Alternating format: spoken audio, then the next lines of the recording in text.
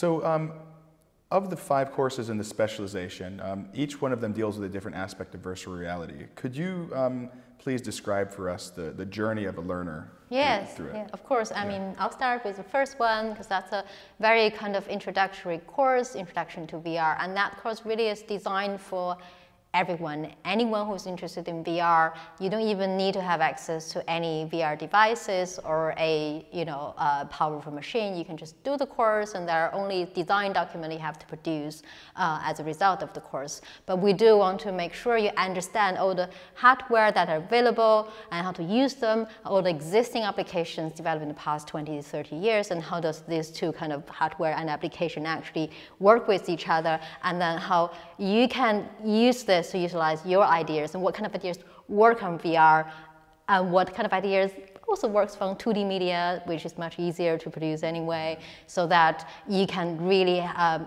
you know, um, basically develop your own idea, your own design in VR, understand the reason behind doing it.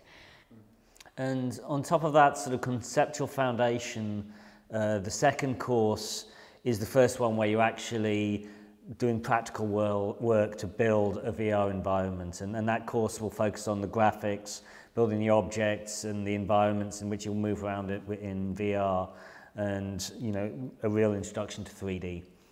And the third one, we're really looking at how do you interact in this 3D space.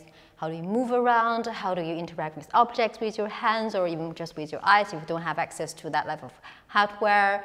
Um, and also lots of concepts in 3D interaction design as well. And the fourth course is really about social interaction in VR. So that's going to be a big thing in the future of VR, something Sylvia and I have worked on for many years.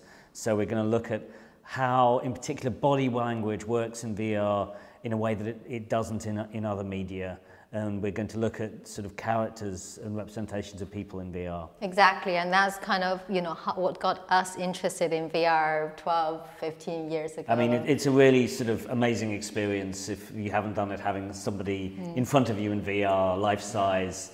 Nothing like seeing it on the screen. It really feels like you're with another person. And also, how do you present your own body in VR as well? So it's a big part of what VR is going to be about in the future.